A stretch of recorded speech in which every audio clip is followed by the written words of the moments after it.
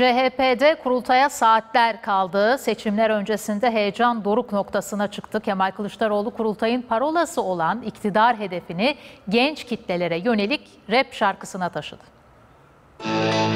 yerel yönetimlerde elde ettiğimiz başarıyı genel seçimlerde de Slogan iktidar, yeni hedefse Z kuşağı yani gençler. CHP kurultayına özel olarak hazırlanan rap şarkısı damgasını vuracak. Çok yakın inancımız tam ve de hedefimiz yüksekte Koronavirüs tedbirleri altında açık havada bir araya gelecek Altıok delegeleri. Yarın genel başkanlık, pazar günü ise parti meclisi seçimi yapılacak.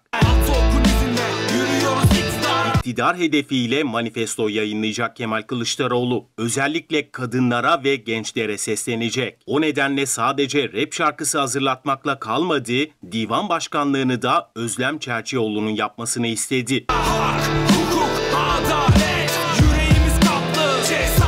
CHP lideri Ankara'da kurultaya hazırlandı. Lozan Anlaşması'yla Erzurum Kongresi'nin yıl dönümü dolayısıyla yayınladığı mesajlarda da yine iktidar hedefi vardı. Miras aldığımız Kuvayi Milliye ruhuyla iktidar hedefimize yürüyeceğiz ifadesini kullandı. Biz